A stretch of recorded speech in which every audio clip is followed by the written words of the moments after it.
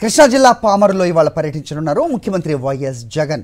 విద్యా దీవెన పథకం నిధులను విడుదల చేయనున్నారు ఆయన. ముఖ్యమంత్రి జగన్ పర్యటనకు సంబంధించిన ఏర్పాట్లను అధికారులు పూర్తి చేశారు. పామరులో ఏర్పాటు చేసిన బహిరంగ సభలో పాల్గొనున్న ముఖ్యమంత్రి విద్యార్థులతో ముఖాముఖి నిర్వహిస్తారు. అనంతరం బటన్ నొక్కి విద్యా దీవెన నిధులను విద్యార్థుల ఖాతాలోకి జమ చేయనున్నారు. CM YS Jagan.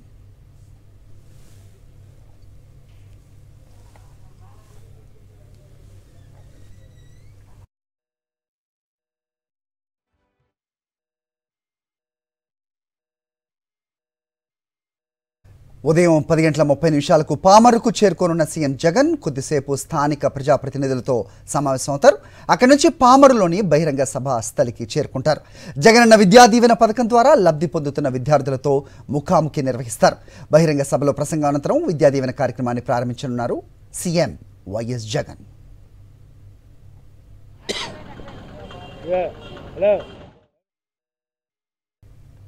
పేద విద్యార్థులు కూడా పెద్ద చదువులు చదవాలన్న సమున్నత లక్ష్యంతో వైఎస్ జగన్ ప్రభుత్వం విద్యా దీవెన పథకాన్ని అమలు చేస్తోంది.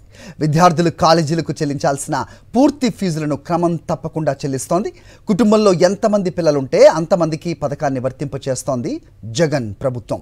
రెండు వేల ఇరవై మూడు త్రైమాసికానికి తొమ్మిది లక్షల నలభై నాలుగు వేల ఆరు వందల అరవై ఆరు మంది విద్యార్థులకు లబ్ధి చేకూరుస్తూ ఏడు వందల ఎనిమిది కోట్ల అరవై ఎనిమిది లక్షలను విద్యా దీవెన పథకం కింద విద్యార్థుల తల్లిదండ్రుల ఖాతాల్లో నేరుగా నగదు జమ చేయనున్నారు CM Jagan.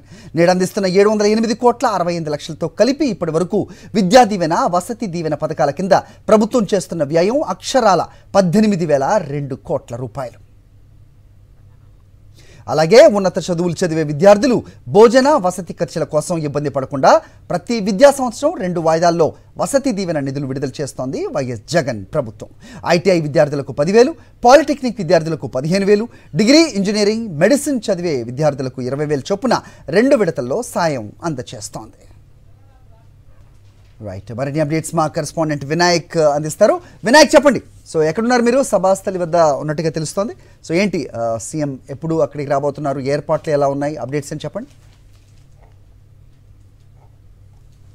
Very good morning ఈరోజు మరి కాసేపట్లోనే ముఖ్యమంత్రి వైఎస్ జగన్మోహన్ రెడ్డి కృష్ణా జిల్లా పామరులో పర్యటించబోతున్నారు. ఈరోజు జగనన్న విద్యా కాను uh, జగనన్న విద్యా దీవెనను ఇక్కడ పామరు సభ ద్వారా విద్యార్థులు విద్యార్థుల తల్లిదండ్రుల ఖాతాలో నిధులుగా నిధులు జమ చేయబోతున్నారు. మొత్తం ఓవరాల్గా చూసుకుంటే కనుక సుమారు పది లక్షల మంది విద్యార్థులు ఈరోజు ఏడు వందల తొమ్మిది కోట్ల తొమ్మిది వందల ఏడు వందల తొమ్మిది కోట్ల రూపాయలు వారి ఖాతాల్లో నేరుగా జమ కాబోతున్నాయి. దాదాపుగా పది లక్షల మంది విద్యార్థులు ఇక్కడ వారంతా కూడా లబ్ధి పొందబోతున్నారు. ఓవరాల్గా చూసుకుంటే కనుక దేశంలో ఏ రాష్ట్రంలో లేని విధంగా ఒక్క ఆంధ్రప్రదేశ్ రాష్ట్రంలోనే విద్యారంగంలో అత్యధిక సంస్కరణలు చేపట్టిన రాష్ట్రంగా ఈ రాష్ట్రం నిలిచిపోతుంది. గత ఐదు సంవత్సరాలుగా సుమారుగా చూసుకున్నట్లయితే కనుక డెబ్బై రెండు వేల కోట్ల రూపాయలకు పైగా విద్యారంగం మీద ఈ ప్రభుత్వం ఖర్చు చేసిన ఘనత కూడా అక్కడ ఈ ముఖ్యమంత్రి వై జగన్మోహన్ దక్కబోతుందని చెప్పుకోవచ్చు. ఎందుకంటే ఈ దేశంలో ఏ రాష్ట్రంలో కూడా ఈ స్థాయిలో విద్యారంగం మీద ఖర్చు చేసిన రాష్ట్రం అయితే ఎక్కడా లేదని చెప్పుకోవచ్చు. మరోవైపున మనం చూసుకుంటే కనుక అటు ప్రాథమిక స్థాయి నుంచి ఇటు ఉన్నత విద్యా స్థాయి వరకు కూడా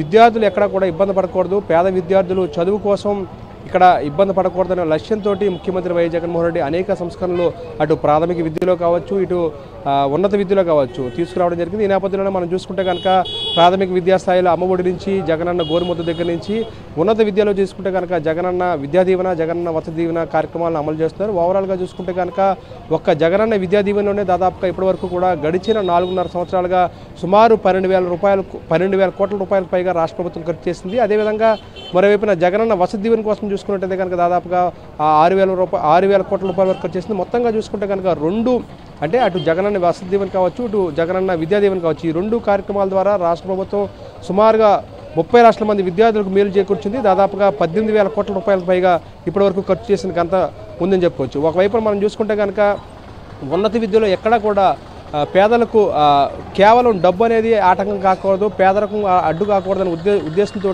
ఈ ఫీజు రియంబర్స్మెంట్ కార్యక్రమాన్ని జగనన్న విద్యా దీవెన పేరుతోటి అమలు చేయడం జరుగుతుంది. గడిచిన నాలుగున్నర సంవత్సరాలుగా కూడా అటు ఐటీఐ కావచ్చు అదేవిధంగా పాలిటెక్నిక్ కావచ్చు అదేవిధంగా ఇంజనీరింగ్ కానీ మెడిసిన్ కానీ ఎవరైతే విద్యార్థులు చదువుతారో వారికి ఈ విధంగా ప్రతి త్రైమాసికానికి అంటే మూడు నెలలకు ఒకసారి ఆ మూడు నెలలు ముగిసిన తర్వాత వారి ఖాతాల్లో అంటే తల్లులు అదేవిధంగా విద్యార్థులకు సంబంధించిన జాయింట్ ఖాతాల్లో ఈ నిధులు జమ చేయడం జరుగుతుంది. ఓవరాల్గా చూసుకుంటే కనుక ప్రస్తుతం దాదాపుగా అంటే అక్టోబర్ నెల నవంబర్ నెల డిసెంబర్ రెండు వేల ఇరవై మూడుకు సంబంధించిన ఈ మూడు నెలల నిధులను కూడా ఇప్పుడు ముఖ్యమంత్రి వైఎస్ జగన్మోహన్ రెడ్డి పామరు సభలో విద్యా దీవెన ద్వారా ఈ కార్యక్రమాన్ని బటన్ నొక్కి ప్రారంభించబోతున్నారు. దాదాపుగా మనం చూస్తే కనుక సుమారుగా అంటే పది లక్షల మంది విద్యార్థులకు ఈ కార్యక్రమం ద్వారా లబ్ధి చేకూరబోతుంది. సుమారుగా ఏడు వందల తొమ్మిది కోట్ల రూపాయలు ఈ నిధులు ముఖ్యమంత్రి విడుదల చేయబోతున్నారు. ఓవరాల్గా చూసుకుంటే కనుక పద్దెనిమిది వేల కోట్ల రూపాయలకు పైగా ఈ జగనన్న విద్యాదీవెన కావచ్చు జగనన్న వసతి దీవెన కావచ్చు. ఈ రెండు కార్యక్రమాల ద్వారా ఇప్పటివరకు కూడా రాష్ట్ర ప్రభుత్వం ఖర్చు చేసింది. మరోవైపు మనం చూస్తే కనుక వసతి దీవెన కూడా ఏ విద్యార్థులు అయితే ఉన్నత విద్య చదువుతున్నారో అటు పాలిటెక్నిక్ కావచ్చు ఇటు డిగ్రీ కావచ్చు ఇంజనీరింగ్ కావచ్చు మెడిసిన్ కావచ్చు వారు చదువుతున్నప్పుడు వారికి వసతి కావచ్చు భోజన సౌకర్యాల్లో ఎక్కడ ఇబ్బంది రాకూడదని ఉద్దేశంతో పాలిటెక్నిక్ విద్యార్థులకు పదివేల రూపాయలు అదేవిధంగా ఇంజనీర్ ఇంజనీరింగ్ విద్యార్థులకు అదేవిధంగా మెడిసిన్ విద్యార్థులకు ఇరవై ఇరవై వేల రూపాయలు ఈ విధంగా వారికి నిధులు జమ చేస్తుంది. రెండు దఫాలుగా ఈ నిధులు జమ చేస్తున్నారు ఓవరాల్గా చూసుకుంటే కనుక రాష్ట్ర ప్రభుత్వం అత్యంత ప్రతిష్టాత్మక ఈ విద్యారంగంలో సంస్కరణలు చేపట్టిందని చెప్పుకోవచ్చు. All right Vinayak thanks for the inputs